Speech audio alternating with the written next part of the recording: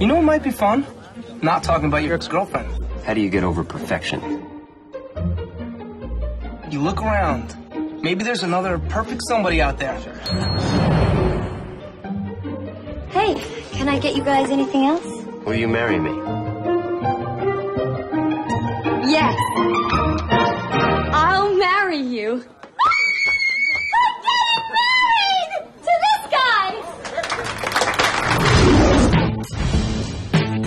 Mom, Dad, want you to meet Katie, my Fiance. fiance. Fiance?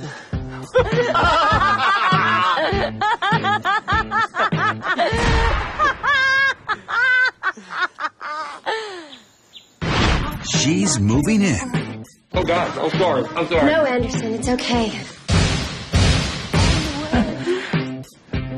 Mmm. Minty. That's just classic toothpaste. Okay. I'm sorry. He's stressing out. But you seem really nervous.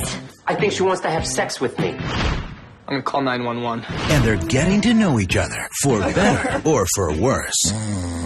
I think this is exactly what I need to get my life back on track.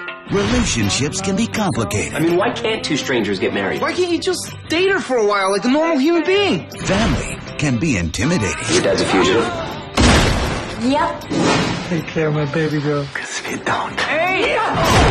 they'll never find you. But love will knock you off your feet.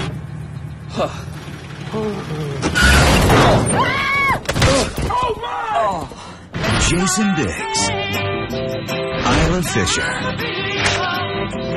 Wedding Daze. May I? Oh, I think I felt a kick.